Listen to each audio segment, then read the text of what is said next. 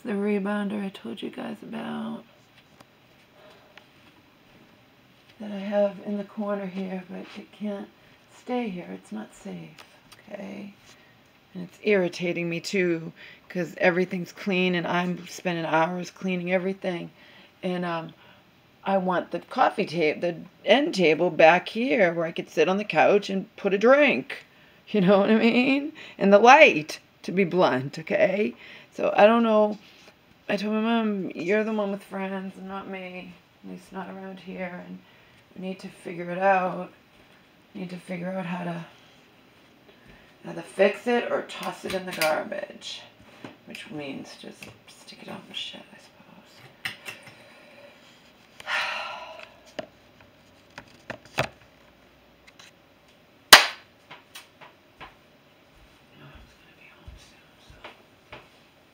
limited time here. Is officially my emotional support animal. It was a formality. The therapist calling me. I already wrote a book, which I'm about to share with you, partially. I'm going to do it in parts because I looked at the videos I've had on private, and even though I had my computer turned way to the side, it was still showing. Not that I think I think it would blur anyway, but so what? It, it's not the most flattering video anyway, so I'll just do a video within a video. They work out good. Where I sit there and then I play you what I have on a video. I have to do that once in a while because it shows stuff I didn't want to show. Anyhow, I'm just about finished cleaning up I switched the bookshelves. I cleaned the, the, the garbage can with vinegar. I switched over the bookshelves because one of the bookshelves isn't as nice as the other one, and the one, they're identical. And the one, so I put the worst one over by the garbage can. Stuff all the stuff all over the table, but I'm getting there. Getting there.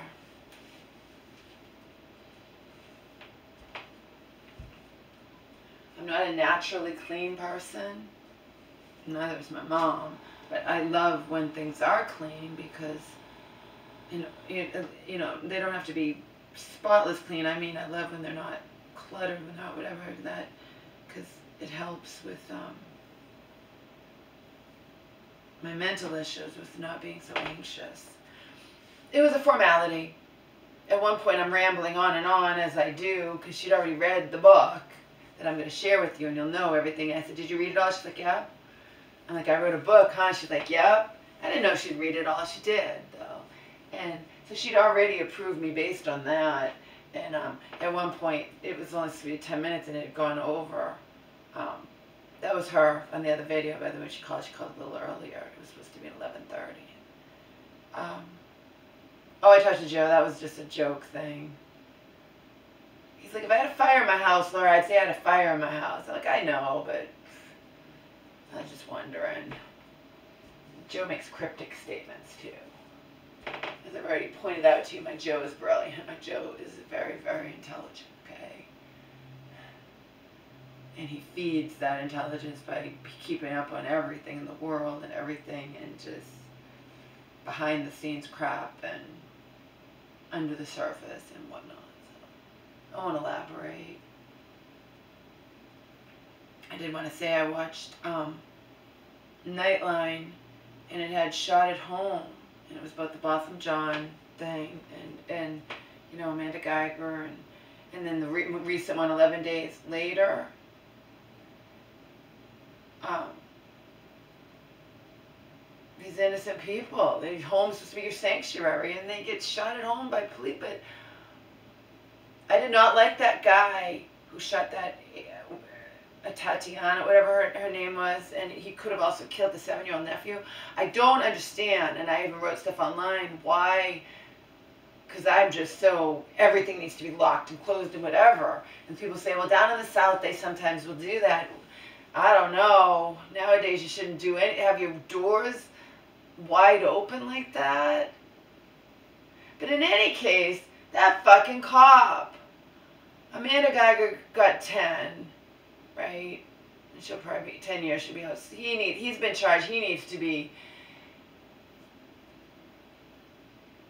First of all, it was not a emergency call.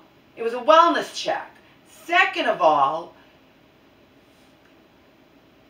instead of he, he, I think he wanted to kill someone, and we got to see. I got to see his interview on on his his just a brief snippet. But they say, "Oh, do you do you think do you think you kill someone?" Oh yeah, no problem. You know, well. Instead of going to the lighted front door and saying, hey, is anybody home? Everyone okay in there? He decides to slink around the back in the pitch dark. I mean, he's looking for fucking trouble. I don't feel bad for him at all. Not one bit. I hope he gets, you know, even his chief of whatever was like, that's, we watched that, that's ridiculous. It's not a, a, a, a crime, it's, it's a wellness check. The rational thing to do is, it's all lit up in the front. You go to the front, hey, is anybody okay? Everybody home? Knock, knock, this is the police. He decides to slink around the back and then through a closed bedroom window sees a shadow, sees whatever, and doesn't even give the person, and then he must see a silhouette of a gun or whatever because she had the right to have a gun and she thinks it's an intruder and she's going to protect her seven-year-old nephew and herself. You know what I mean? That is so sickening. I don't like him at all. At all. Amanda Guyger, I mean, at least in that instance, she really genuinely thought that that was her apartment and she feared for her life or whatever. This idiot didn't go to the front lighted front all lit up. It shows it. He slinks around in the back to the black. I mean, that's someone looking for trouble. I, I don't even know what his defense, his lawyer's going to come up with a defense. Because at first they tried to paint, say, oh, well, she, she had a, a, a gun or whatever. Yeah, people have a right to have guns and defend themselves. And, and when she thought you were an intruder, it's not like you said, this is the police. It's, she 100% thought you were an intruder. You know? You didn't say this is the police, drop your weapon. You just said drop your weapon and shot her in split second before she even had a chance to respond through a closed bedroom window. I mean, sick. That's just sick.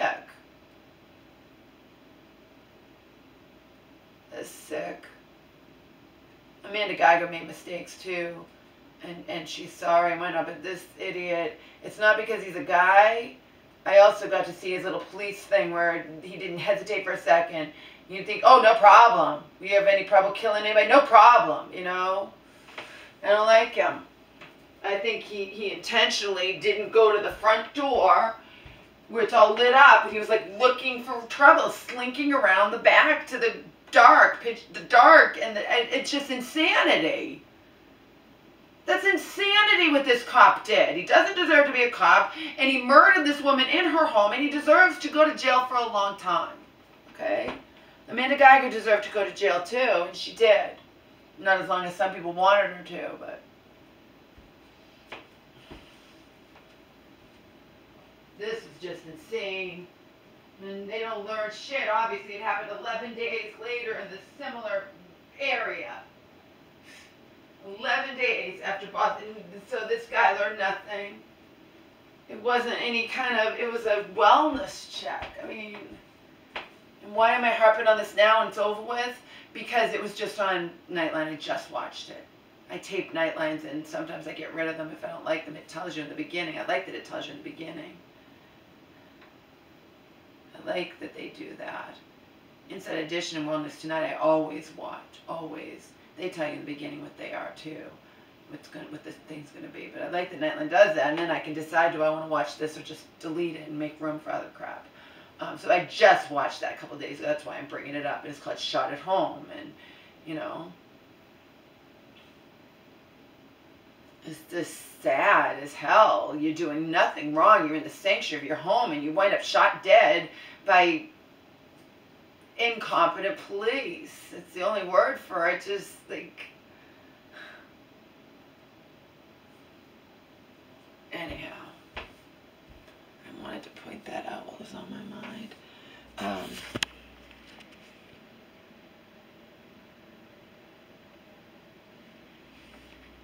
I think I'll just make this one video and two other videos where I do video within a video.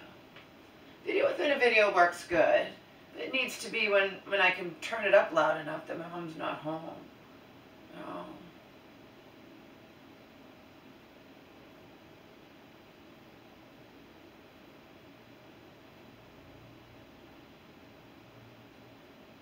Um,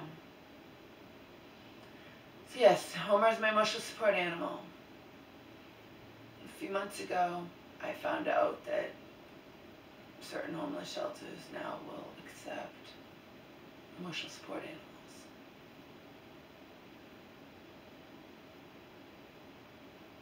I was kind of surprised at that. Not kind of, I was really surprised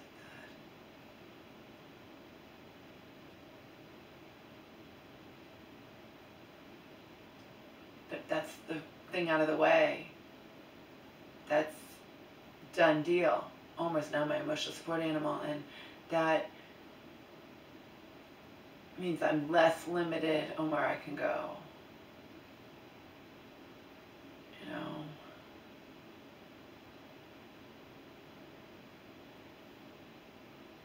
For now, I'm not going anywhere. Walmart refunded the money to my mom's credit card. I still don't think it's going to be over with. Thought they had to talk to her, but they, they just, they're at a standstill. It's ridiculous. I just, everything got so fucked up. I swear to God, if they, they're not getting the TV back, that's a given, okay? After everything they put us through, they're not getting the fucking TV back. And they don't want it back. So it's not like I'm saying they, if they demanded it back, they'd get it back. Of course. They said, our people fucked up, you need to send the TV back. It's not open. But I'm just wondering, all these people, uh, now I could go with my mom and we dispute the charge. I have it all in writing. I have it in writing. No need to send back the current TV. We're going to, re you know, and it's in writing from managers. I'm the manager at so-so-so. So you think the bank, this isn't a credit card that's a million, this is a bank. You think the bank's not going to, you know, the bank's going to accept that you're disputing the charges legitimately and, and that, you know, if they try to charge my mom again. Hopefully they won't. Hopefully, hopefully they will not, okay? Hopefully they put something in place. But then again, why couldn't they push a button and force the warehouse to say, you know what I mean? They're saying it, wasn't lost. They, I got so much misinformation. So for all our trouble, we got a $25 gift certificate. And as I started to say before the phone rang, I'm going to use it to, to buy a carbon monoxide thing for this house. I don't know if there ever was. My mom, that's how my mom is, though. of course we have it. You just think you have it. When we had to fix the air conditioner, my mom was at home and I had someone come here. Where there's supposed to be a vent somewhere that leads. I'm like, I don't know where it is. Yeah, because my mom had a bookshelf over it. And she had never once cleaned that filter in 10 years or however, you know.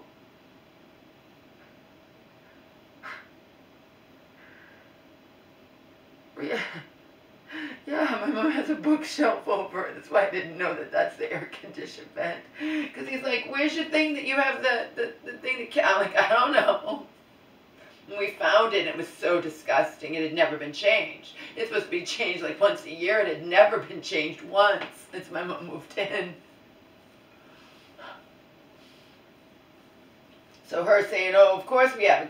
Where, okay, mom, we, you have a carbon monoxide detector here. Where is it? Where is it?" My mom's landlord, when she was living there, must have had some kind of inspection happening or whatever, because suddenly I was over there one day and he was installing like carbon monoxide things. Okay, I saw him open it up from the package, whatever. We don't have anything like that here. My mom is that goes to show you, you know. The bell stopped working, the doorbell. I never knew what this was, the doorbell. That's a smoke detector that's built into the house. And this has been here forever. It's, it's either combo or it's one, but whatever it is, it's fucking old certainly am not going to say, oh, we'll just replace the batteries with that. That's super, super old. I don't even know, that could have, you know, no. I don't know, what's going on, but I, there's no carbon monoxide. But I'm making a point that my mom's like, of course we do. I know. Because you think things that aren't true, mom. And I've been thinking for a long time, ever since it was in the news and carbon monoxide, and you see people dying on the TV, and, and it, I mean, featured, and, and, and it's awful, and whole families, and time passes by, and did I get my ass and get a carbon monoxide detector? No. No, I did not. I think about it. Especially since we had those dryer people come and claim that thing going on with the dryer, but then.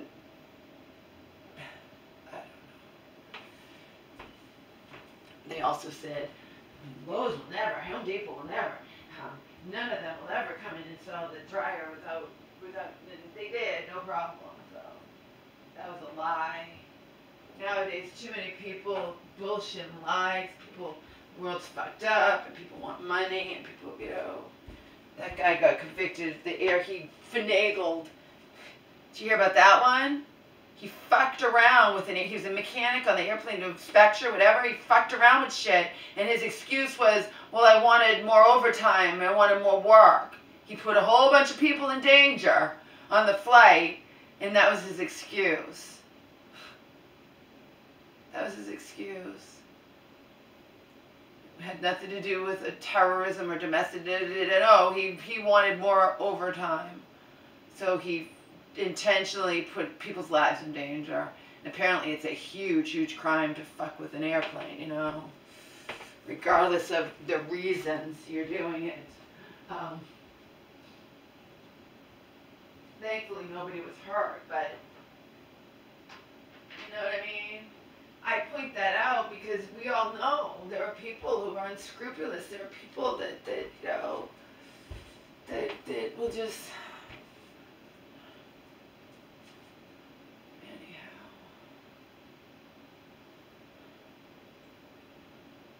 We never did that whole dryer thing that the guy was insisting needed to be done.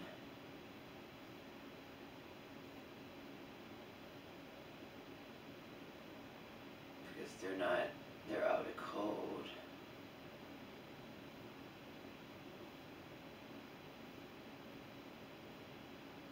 But I talked to him a long time, and remember, Auntie didn't want to have my mom do any of that. I didn't think it was necessary. Thinks instead of it. And then he was he was supposed to come personally here, and he sent someone else here. You know, and someone else didn't really didn't have really confidence in the someone else came to, to do the estimate or whatnot and was insisting blah blah blah blah blah and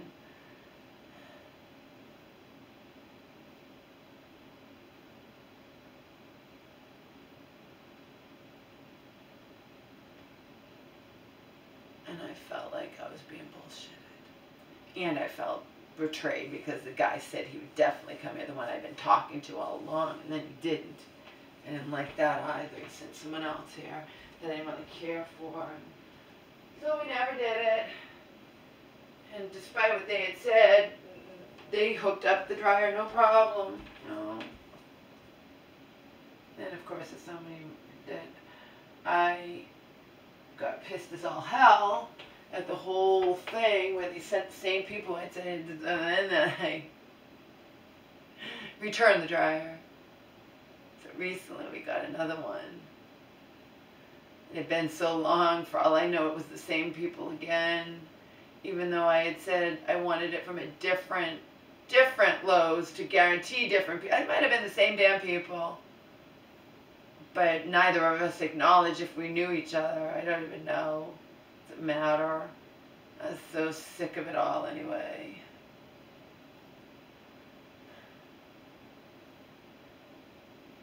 So Omar is officially my emotional support animal. I'm living dangerously. I have him in the bedroom, but he did go to the bathroom, and then I had him out a couple other times. Two whole days under our belt now. There's going to be a calendar that goes right there. It's not going to announce in case my mom has guests. I'm not having any guests, but my mom might. It's not going to say, oh, these are the days that Omar didn't go to the bathroom on the floor, and these are the days. No, it's going to be discreet. I'll know what it means. I'll just highlight it. Um, anyhow,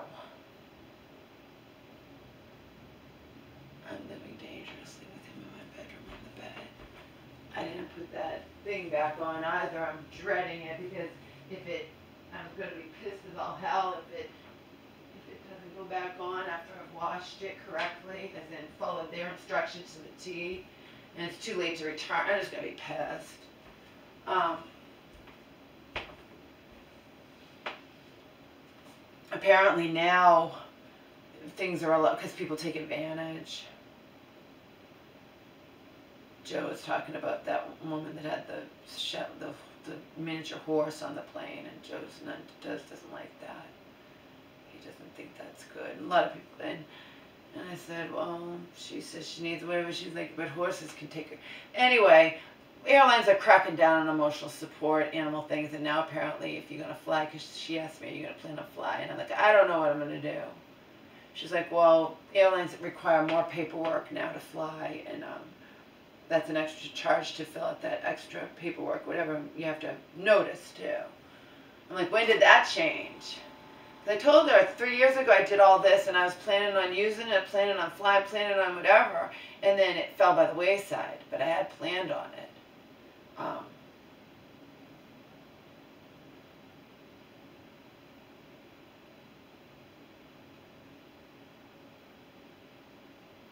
I told her he's like, you know, he's 13 years old almost. But I didn't tell her, but I've told you guys, anything happens to Omar, I am going to be a basket case. There's no doubt in my mind. No doubt. There's absolutely no doubt in my mind. There are people that are severely, severely affected who've only had their pets for a while. I've had this dog since he was seven weeks old and he's gonna be 13, okay? Of course I'm gonna be fucking basket case. Plus I'm so dependent upon him. She asks, she's like, how does he, how does he, you know, how does he help with your daily, how, what is going on with your, da-" and I said se- severe anxiety.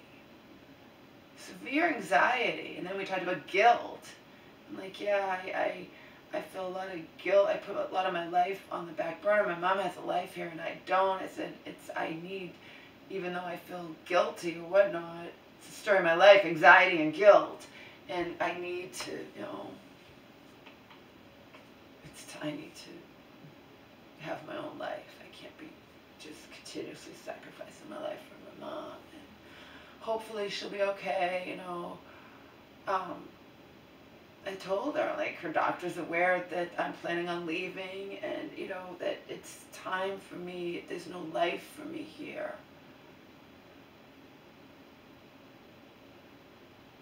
I was impressed she read everything that I had written. So it was a formality. At one point, she's like, I really have to go, Laura. And she's like, I'm going to approve your, your, your thing. She's like, oh no, I'm sorry. She's like, I already, I already approved it. Before the phone call, she'd already approved it based on what I wrote. So they just have a new thing where they have to do the phone call. But she'd already decided, which is awesome. Such a relief that that's over with. It's such a relief that hopefully, I'm pretending to knock on wood. I'm not superstitious like that, but hopefully the Walmart TV thing's over with. You can't say that because you know how you get a certain amount of time to return something, and if they fucked up all along so badly, how do I know that when they don't get the TV back, it's per their instructions, manager, supervisor, you don't have to send it back, that something's not going to fuck up and then they're going to recharge my mom's card. So I have to pay careful attention and I'm not going to let this go. I'm not going to just send the TV back. Okay? If I'm repeatedly told not to and I'm like, at one point I do want to share all my emails that I sent to them with you guys and, and then sum up what they said to me without saying exactly, you know. Um, in response, back and forth, back and forth. What a fucking fiasco. My last thing was, I hope you've learned your lesson, you know? There was no need to ever, if that guy to ever tell me, don't send the TV back. I never even heard of them doing that unless it's something small, you know? Something small. I know, like, like I found out that, that, um, I know Vitacost changed the thing where if they don't if something's damaged, they don't want it back and they'll refund you. And I found out Amazon too, because I returned a whole package of something before because again, I didn't even care about opening it. Didn't matter to me. I returned the whole thing because the box arrived fucking soaked, and I'm not going to tolerate that. Okay. I decided I was going to tolerate that anymore.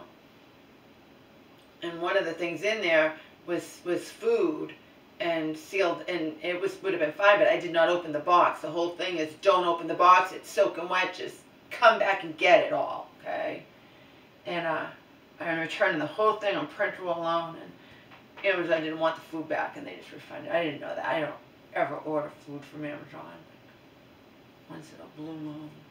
And that's the only time I'd ever returned it, and it wasn't because the food was damaged, it's because I'm not, I'm returning everything to teach these delivery, delivery people a lesson, stop not putting my stuff in plastic or doing it half-assed or whatever.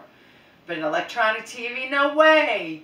It's not a Christmas present. It's not like we needed to have it right then. Give me another one, I'll send yours back. And then I went through total hell because the guy decided to say, oh, you don't have to send it back. And I said, he's sure? It's probably fine oh, well, dry it out. If it works, it works. It doesn't, it doesn't. So nonchalant, so blasé. And then I entered fucking weeks of hell. Bye.